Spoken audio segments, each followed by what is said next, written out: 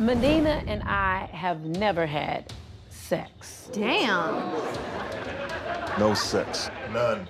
Blue balls. Ain't get none of the Medina Twizzle. got blue balls. He wants some of the Twizzle. Hey. You know what I'm saying? Medina got blue balls, dog.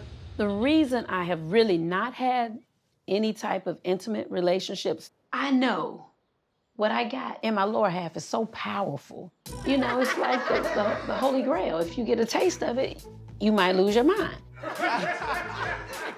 This guy Medina's, you know, he seems like the total package. I mean, he's tall, dark, handsome. He speaks with intelligence. I don't understand. What's wrong with Phaedra? Like, you need to get back on the pony, sis, and try to ride.